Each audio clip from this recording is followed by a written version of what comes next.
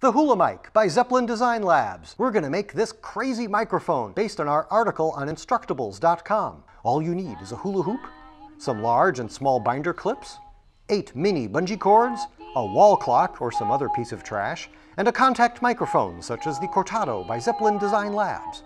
One, Grab the clock off your office wall and pop off the lens.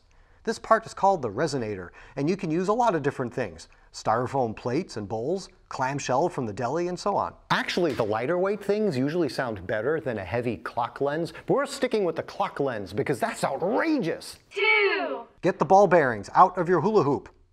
three, Put the big binder clips on the hula hoop. four, Put the small binder clips on the clock lens. Five, Use eight little bungee cords, about 9 or 10 inches long, to suspend the resonator in the middle of the hula hoop. six, Use a little blob of poster putty to stick the piezo sensor of the contact microphone to the center of the resonator. seven, Plug your contact mic into your recorder or amp and start singing. You are my sunshine, my only sunshine. You make me happy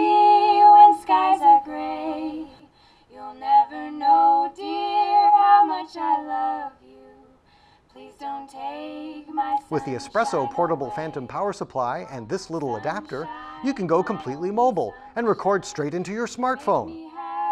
It's easy, it's fun, it's cheap. It's the Hula Mic by Zeppelin Design Labs. Find it on Instructables or visit zeppelindesignlabs.com.